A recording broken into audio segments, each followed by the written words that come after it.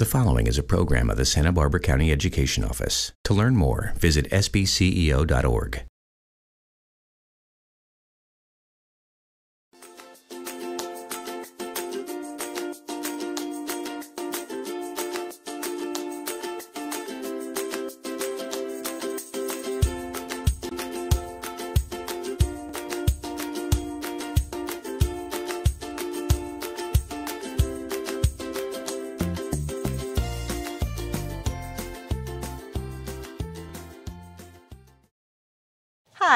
Susan Salcido, Santa Barbara County Superintendent of Schools, and I am so delighted to introduce and welcome our guest today, Shannon Seifert, President and CEO of the Santa Maria YMCA. Welcome, Shannon. Thank you, Susan. I'm so delighted to be here. I'm so glad that you can share the afternoon with us and share your story with our audience today. We have a lot to share, a lot of great things that happen out of the YMCA and your leadership.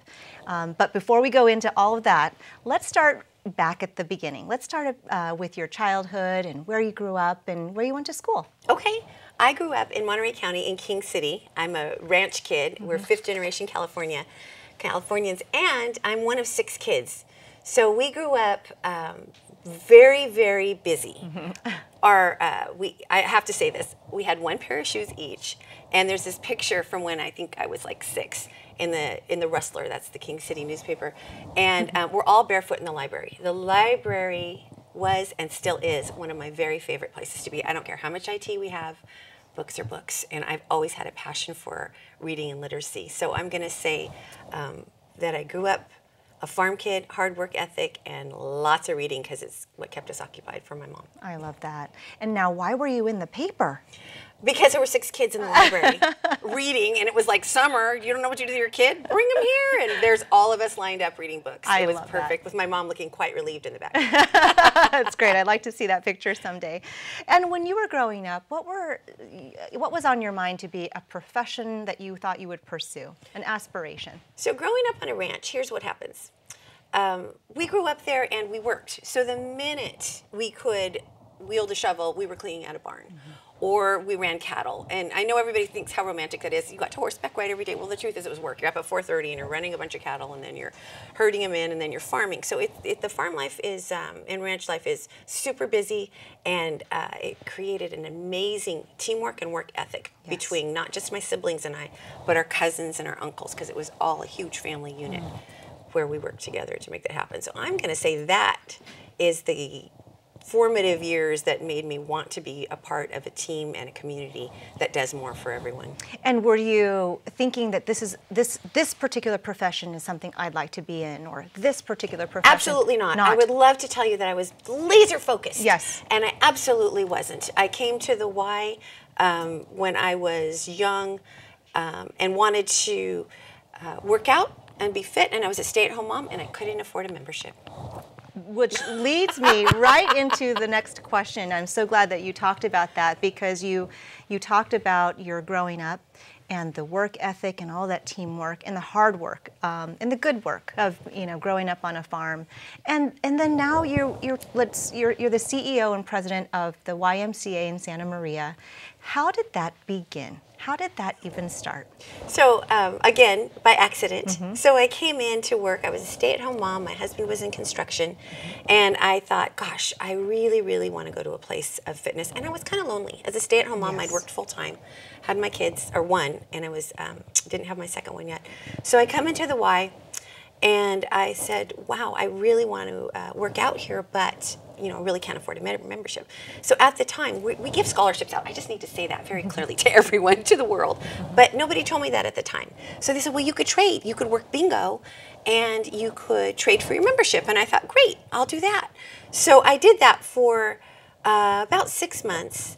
And then I thought, I could work here. Mm -hmm. I could I could make that better. I could do that. So I ended up slowly growing my way up through the Y, through the fitness department, and then through several other departments, including facilities. Um, and learn the why from the ground up. Wow, that is fantastic. I love that story. I really do because now, as the president CEO, you see the why from multiple perspectives, absolutely multiple, including scrubbing grout, including scrubbing grout and organizing bingo. Right, from exactly. what I understand, yeah. Isn't that hilarious? It's wonderful. I also really... have to make clear we don't gamble at the Y anymore. No, that was a that was a story from the past. Back yeah. in the day, 27 years ago, that's how we got by. so let's talk about the Y and its mission and and how it serves the community. So this is your floor to talk about the YMCA. Yes, I love the Y. I'm going to say um, not just not just because um, we're nonprofit and we do what we do, mm -hmm. but because it's tangible. It's a bit selfish on my part to love it like I do, but the results we see are tangible. So we have a family who comes in. Um, I'll give you an example. We had our testimonial at our major gifts kickoff last uh, week, and he came in and he's a, a gentleman who had pancreatitis and he became paralyzed from it.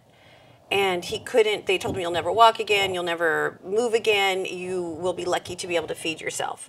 And he went into rehab and he couldn't get enough out of it and he was embarrassed to walk in his walker. This guy's probably about 40 wow. And he has two children and a wife. And he came in and came in with his walker and um, not only did we op- uh, welcome him with open arms but we also financial aided him so he could afford to come and rehab.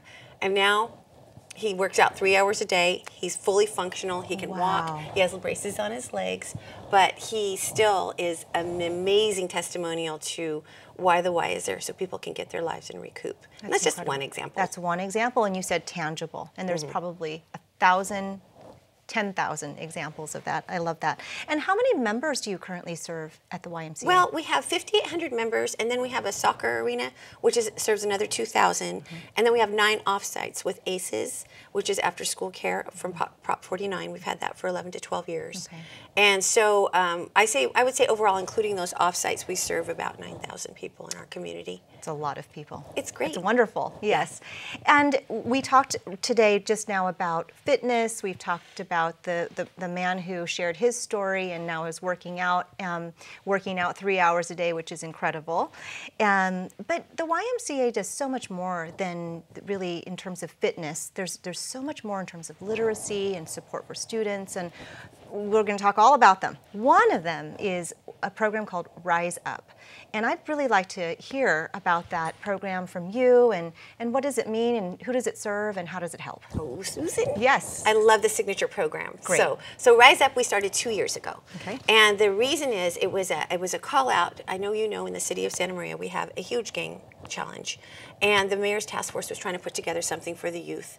And the Y is really well set up for very early prevention, not so much intervention later, but prevention. Okay. So we worked with Hancock College with a specific program based on metrics on when is the right age to prevent. And believe it or not, it's nine years old, which is so young. It's third grade. But we thought, all right, we're going to trust these stats. We put together a program with Paul Murphy, who works for Hancock College. And we put together this huge program. We named it Rise Up. And it is 25 third graders that we want to bring them through a three year program. So that's a tricky one because the recidivism is a big deal. Mm -hmm. And the program is STEM, it's uh, Y Readers, which is a literacy program. It's um, we also have a program about um, healthy eating, mm -hmm. healthy behaviors initiative, that Hannah-Beth Jackson chose us in this district to Exciting. become certified. So we're there to help um, childhood obesity and diabetes is a big problem. Mm -hmm. Again, at these young ages. And swim lessons, the kids have to have fun. Yeah. They have to have fun. So we brought in uh, all these components in addition to Cal Poly and Fresno alums to teach the STEM components specifically.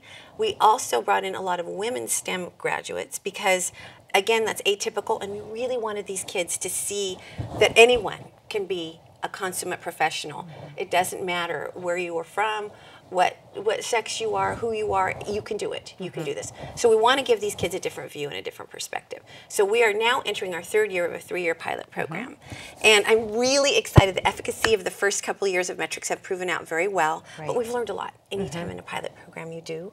So what we just found out, um, Kevin Walthers, the president, um, Dr. Walthers with Hancock Mm-hmm. College, is partnering with us on this. And so these kids, these third graders, are going to graduate in the fall of this year from our program and be hand carried in by Kevin in his Bulldog program for those fifth graders. Fantastic. And then carry them on to the Promise program, which I don't know if you guys heard, but it's funded and helped by Bravo today, but also it's a huge program for everyone to have access to a junior college education for books and tuition to be paid for. And um, so we want to take these little third graders all the way up through college and see what happens. And next week, we're, we're um, presenting to the Department of Defense along with Kevin for a very broad version of this Rise Up so that we can put it out on steroids and take it out to Boys and Girls Club and to the city and to Hancock and have these pods of this specific third grade program throughout the city. Wow. So that we can have a much broader impact with these partners. Couldn't do it without the partners. So Yeah. one cohort so far has gone through, and then will another begin? Yes, we're starting a whole new batch. Um, so we're, we have 50 children coming this summer, and then we start a whole fresh new cohort next year. And my hope and goal is that we start a fresh new cohort not only at the Y, but at at least one or two alternate locations, um, provided, of course, capacity and funding, as we all know. But I know we can do it. Yes, I, I believe know you can can do do it. I believe you can do it. That's for So sure. excited. That is really wonderful. And is Rise Up a program that's after school, um, weekends, uh, during school, all of the above? It's pretty intense. Okay. So the STEM program is, very intense, the STEM components, but all of it. So it's a full month in the summer. Okay. And the trick is getting the families, they have to be involved. We have the parents involved, they must be involved. Mm-hmm. And so we have to set this, they have to set that month aside, and it's hard to do. Your kids are home for summer, you have more than just your child perhaps that's Right. involved, you're a single parent. So we created, uh, we made sure we had transportation for them. Um, we work and go pick them up at any of their school sites. We have SMAT, and they come and pick them all up for us. It's great. It's working out wonderfully. That's really great. So, um, so yes, and then throughout the year, we keep in touch with these families. We bring them Mm. Christmas. We have a dinner for them where we do a STEM-related activity along with dinner, and always the families are there. It's actually mandatory that the families come. It isn't a drop your kid off. It's a you're It must involved. be. Mm-hmm. This is your child, and the parents. Can I tell you a little story about just one child? Absolutely. Okay. This was just it, it got my heart. But one of our children came in, and he's you know again third grade. And he comes in and he was very shy, very reticent. I mean, initially, we're really not trusted because these families don't know us. Mm-hmm. And why would you do this for us for free? Why are you doing this? So, so it's a little suspect initially because, mm-hmm. you know, they're, they, they're rightly so, they're nervous. Mm-hmm.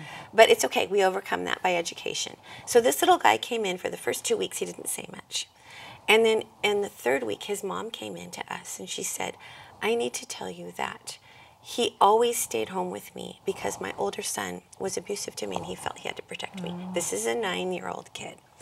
And she goes, and now he's confident to go and he knows I'm okay because we've taken some measures there. She goes, but he wouldn't leave me because of our, our home environment. And now he knows not only can he, but he can be something later mm. on in life. He, this isn't his job, his role. And for that mom to share that with us was pretty amazing. Very amazing. And we were touched and, and mm-hmm. that she would share it. And now he's just, he's like Johnny on the spot. I love it. He came and spoke last year at our campaign. Nine Is years old, he came and spoke. And that's pretty impressive in front of 100 volunteers. That is impressive Yeah, for sure. Well, the pretty cool. program is very impressive for sure. Well, I'm excited about Well, it. we talked about Rise Up and we uh, talked about YMCA and signature programs. What other signature programs would you would you say exist with the YMCA? So one of my favorites, of course, is our Santa Barbara County um, Education Volunteerism Outreach. Yes. It's it's a great partnership. Um, ben Romo, back in the day before he was with First Five when he was at the county. Now we have Chelsea Duffy, who's. Yes. delightful. Um, came to us and said, "Wow, we really need a North County volunteer." Uh, spot because you guys need services all these schools and these services and we really don't have anything except in south county Mm-hmm. and i'm like well let's be that bridge man it's what we're made to do and so we did we became it we started out at our place with an AmeriCorps and she was lovely erica reyes and now she's into politics in san luis county Yes. she's lovely Yes, she is lovely. and so she was our 1st Mm-hmm. and she was great. It was such a great first experience for all of us. So she stayed with us a year, and we got our feet under us. And so now that program, I think we have about 800 volunteers Mm-hmm. out in all the school districts. Um, especially, uh, we like to serve um, the high needs schools. Mm-hmm. So Guadalupe, Arellanes, um, all the Santa Maria and Bonita School District were there, and it's really a neat venue. But another part of that is we've incorporated these students into volunteerism, Mm-hmm. and that turned into an internship program at the Y, which I love because we get lots of calls from families going, my kid is just on his cell phone. He can't even make eye contact. Right. He's sitting there on his cell phone and he can't, it's not working out. He can't interact and it's just, mm-hmm. you know, his technology gone awry a little bit. So we take him in. They can't have their cell phones. We interview them. They have to clock in, clock out. We track their hours. We teach them a job, or we link them with a place that, like an engineering job, mm-hmm. and a, a person will take them on, or we hire them and they're paid a stipend and it's lovely and it's growing. So I really like that. It's only for young kids, so it's 15 to 17. You know, it's not into adults, but it's to get them ready for the job market. Fantastic. So Yeah. with Rise Up, we've got this uh, North County Volunteer Partnership with the internship component. And I think you do a lot of work around childhood obesity. We do. Um, which you talked about a little bit before. Can you say a little bit more about what it is that you do? Yes, the Healthy Behaviors Initiative. So we Perfect. Became a certified trainer. It took us a year. It's a huge certification process. And the goal is, um, in our district specifically, there is a high rate of uh, childhood obesity and diabetes. Mm-hmm. So again, back to prevention, which the, the Y is great at. So if we can get to these little kids and their families, again, the family is huge. So we have to bring them all in to be part of the education process. So we started it out at Arellanes where we planted a huge garden. The kids tended it themselves, cooked. We brought in the food. We brought in a kitchen, taught them all how to make food, and uh, we do it in our summer program every single year. And the um, the idea is to is education basically, but hands-on education. Bonipak is a huge partner and provides fresh local vegeta- vegetables Wow. all year long for us, and um, that's also helpful because then you're cooking with what you have accessible to you, mm-hmm. and these families will learn that too and do. They. That's do. great. They come to us. The kids go home and cook for them. Oh, that's wonderful. What I'm learning from, from you and all of these examples are not only about the examples, but the impact that you have in so many of our schools and so many of our families. So it's not just the, not just, but it's not only the members that actually come into your YMCA building, but boy, does the YMCA go out into the community and serve so many families and children. It's really, really uh, impactful, like I said. So one thing that you talked about um, is, is partnerships. And there are so many partnerships that really the Y uh, has uh, in, has served and, and been a part of. I know in talking with you and knowing about some of your background, you really believe in that power of partnership. It's something that's just a core value for you. So I wanted to ask you about that. What is what is your belief in the power of partnerships, and what are some of the ones that are really, really um, powerful for the YMCA? Oh, I love that question so much. Um, because without a doubt, the Y could not thrive without the partnerships Mm-hmm. we have. And these partnerships came from reaching out, really, I will tell you, call, talking to Karen Macy, the president of Dignity Health, Mm-hmm. or Kevin Walthers with Hancock, or um, Luke Ontiveros with the school district. There is not one person that I have ever reached out to that hasn't that has said no. Hi, can you meet? Can we talk about this issue or this issue? And they, it, the beauty of this community is nobody's too important or too busy to make it better for everyone. I can't, I hear this over and over in this community that this is, I don't know if it's atypical, but it's lovely. You've probably noticed it yourself, Oh, in yes. the, especially in the education mm-hmm. field. But we're not limited. We're the Y, and, and we're here to serve. And the other beautiful thing is, people will come to us and say, "Can you provide, for instance, Blochman School needs some after-school care and a bus in and a drop-off point. Can you provide that?" Absolutely. You know, and their superintendent, Doug, plays racquetball at the Y every day. Is that right? Luke That's plays great. basketball there three times a day. I mean, That's three great. times a week. I'm like, what? So I like that it's a hub, not Yes. just professionally, but personally, a place to meet and greet and be well and play together, not just work. It's Mm-hmm. about those relationships uh, meshing and melding. So those are a couple of our really good partners. I love that. Thank you for sharing that. I'm going to pivot a little bit away Okay. from the um, YMCA for a moment and talk about you, you as a leader and your the the philanthropy and the volunteerism that you've um, participated in. And one of those areas is with Calm, Mm-hmm. right? Can you share a little bit about Calm? What what role you play? Tell us, tell the audience what Calm does and what it's about. So years ago, again, this is back. Gosh, I'm really dating myself, but that's all right. I love being around for this long. It's so great. So back when Calm first tried to do again North County outreach, I, I guess the Y is turning into a bit of a bridge. As I'm talking to you, I didn't recognize it as such. But um, back then, Cecilia, I don't know if you know her, but she was in she was the CEO at Calm, and now Alana is, and um, she said, "Wow, we really need. I mean, North County has the highest need, mm-hmm. but we don't have anything in North County. So way back before they even had offices here, they came and said, "How do we do it?" So Peggy Blau and Mike Gibson, and um, and myself, because it's the Y, you know, mm-hmm. it's a community hub. Um, she said, "What what can we do there?" And we're like, "Well, bring it. Let's just let's just figure out a place." So so Cecilia was so instrumental in finding a place, and we I love Calm personally and professionally because they're filling a niche which educates again back to the whole family. We're not just treating a symptom of a child who's been abused we're teaching the parents on how to mediate with their child and how to communicate with their child. I'll never forget the first time I went to CALM. They had a microphone and a mom in there working with her child because she did not know how to discipline her child without physical violence. Right. And they sat there with a the microphone and the child was pushing back like kids do. And they were telling her in her ear, here's an option, use this, use these words. And you could see her going, oh my gosh, this is working. And I thought, again, back to the tangible practicality and beauty of educating the parents on how to be better at what they do mm-hmm. rather than removing a child or a child going through the system and then becoming the same thing that that their parent was because they didn't have the knowledge or the education right. on how to lift themselves up. Right. So I love CALM. CALM. Child Abuse Listening and Mediation. Mediation. Yeah, what a wonderful organization. It and really so is. Glad that you were able to participate in that way. And now yeah. it's thriving here in, in northern and Santa Barbara Definitely County. not because of me. Yeah, it's because of a Alana. But we're still partners with them, mm-hmm. and they help us in our preschool often if we have a situation. And we do trainings. Mm-hmm. They help with trainings throughout, which is wonderful. Well, and you've been a leader for now, you know, several years now, and I'm sure that you coach and mentor up and comers. Um, yes, yes, and you get a chance to even if they even if you don't know you're mentoring them, they you probably are. Do you have a particular approach in which you like to um, mentor an up and coming leader, or some philo- philosophical points that you like to impart? I know. I love that you give me a lot of credit about being such a thought leader. So here's the, are. here's the truth. Yeah. it started out of learning. You know how we go on our learning curve, and I learned by watching what people do really well, going, I want to be that. And then what people do really badly, I'm like, I will never do that. Yes. And I know that's a learning process for most people. Mm-hmm. The number one thing I knew when I came to the Y as CEO, um, it was a huge challenge. The Y, um, I, have been there 10 years now as CEO and 23 just as a, as a Y employee growing up in there. But um, when I came into the role, uh, we were upside down financially. It was a big challenge. Um, my board was a bit disarray. My staff were lovely, loyal, and completely untrained. Mm-hmm. And so I had to restructure. I was the least popular person on the planet for a full year. Very lonely, very awful, and very um, necessary. Mm-hmm. And so, um, so my leadership started out uh, the most uncomfortable leadership you could imagine. Mm.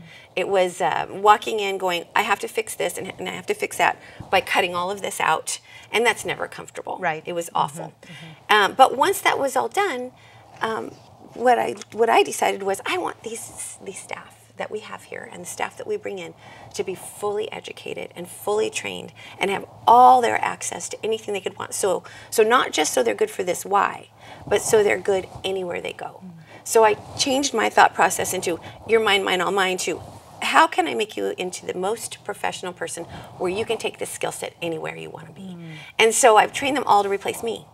They all, my core staff, my lead staff, I have nine, are all taking trainings in various levels so that they have all the why. We have a two year program that sets you up to be a CEO in addition to your four year degree. Um, and I want every one of them to have that. So if they leave me, they can go be CEO anywhere or take my place. Wow. Either one's great, but that's my goal. Is not that it's not just all about the why. It's about raising people to a professional level, no matter where they go. That's incredible. And, and you talked about the program, this two-year program leadership program. Is that from the YMCA? Mm-hmm. It's Y National. It's all requirements in order to be a CEO. Mm. But there's also leadership, you know, Santa Maria leadership groups, and there's leadership from leading from within yes. that Santa Barbara County just brought to Santa Maria. So I've had Andrea Gallardo in it and Krista Delia in that so far. That's great. And they're very, very uh, taxing, mm-hmm. and they're not just a oh, come here and we'll teach you. They're like, you, you're vetted and you have to be serious about your career and you have to be in your career a while before you even qualify to take these classes. You know, the, the you shared about how your leadership style is in terms of mentoring those who are working with you. Uh, how do you think uh, you learned how to be a better leader? Because you started out in multiple different jobs at mm-hmm. the YMCA. You've really grown up and into it. Right. How did you learn it for yourself? So I would say that when I first came, to, well, I'm going to say growing up. I got to go back to childhood. I hope you don't mind a little no, regression. No, not at all. So growing up, I know in our farm, back to that, um, my mom would take us um, all six of us kids, we had this the ranchers, and we would harvest each other's farms. And she would pack us all up. This is before microwaves. Let me tell you, she would make this sit down, full on lunch for this crew of twelve and her six kids. Big pot of beans, bunch of cherry pies, steaks, potatoes. Load them all into this old station wagon. We'd all be standing up in the back seat back then you didn't need seatbelts and there wasn't room anyway. And we, she'd take us out to the, to the farming, for where they were farming that day, and feed them all. And she would do that all day, every day. And then when we were done with our ranch, we would go to the neighbor's ranch and we'd farm that. And then when we were done with that, we'd go to the next neighbor's ranch and everybody stepped up. I'm going to say, A, my mom, watching her quietly just do her work. I never even knew she was uh, the leader she was because she was not ta-da. Mm-hmm. She was just, you just put your head down and color. So that's one of my favorite sayings. Just put your head down in color and ask a lot of questions. I rarely pretend that I know something I don't. Every now and then my ego gets in the way. But most of the time I ask. Mm-hmm. If I need help or I want something or I, I need to learn something or I need to impart something, I just ask because there's always people who know more than I do. Shannon, you have so much wisdom to share. I love the looping back around to your to your family and how you grew up. I think that that farm life really um, taught something that is so valuable, you know, in you. So yeah, absolutely. Yeah. And uh, not only are you so wise about your wisdom, but you're also mentoring up and comers. That I think is they're so fortunate to have you as as a leader. We're ending our show. I can't believe it. The program is already coming to a close. Half an hour just snaps by, truly. But I wanted to give you an opportunity to to talk to say something to the community, a message to the community that you might want to leave the show with today. Okay, I would love that. Great. Thank you. Mm-hmm. Um, I'll try not to make it too sales pitchy, but it is what it is. Yeah. Two things. I have to say that we've built our board to fit gaps that have made this possible to reach out to the community. Couldn't do it without this board we've built. Mm-hmm. It took us 10 years to build a board as strong as we have. And when we have a strong board, we're able to to really make an impact in the community. In addition to that, the staff being trained is huge. Mm-hmm. But the thing I didn't know when I came to the Y that I really want the entire community to know is we're here for you. Mm-hmm. The Y is at the behest of this community. The fact that I didn't know about financial aid and the availability and the need for a swim lesson or childcare or to get well, get back on your feet, or for whatever you might need that the Y can provide we raise funds privately every single year, and all of that money goes back out Wonderful. to this community. Not to operations, not to decorating, not to payroll. Mm-hmm. It goes to you. I want people to know that. Please know that. Tell your neighbors, tell your friends, this is our purpose and That's, our mission. What, what a wonderful way to conclude our interview with that um, message out to the community and a welcome and open arms to the YMCA for anybody who needs anything. They can go right there and find a way to uh, enter in and get some support yep. in multiple different ways. So, yep. Shannon, thank you so much for being our guest today and for imparting the wisdom and for not only being my guest, but for um, impacting the community in such great ways that you do, just not only at the YMCA, but really out in our schools, in our families. You really touch the lives of so many and make a huge difference. So thank you. I love it. Thank you. I'm Susan Salcido, Santa Barbara County Superintendent of Schools. Thank you so much for joining us today for this edition of Education Matters.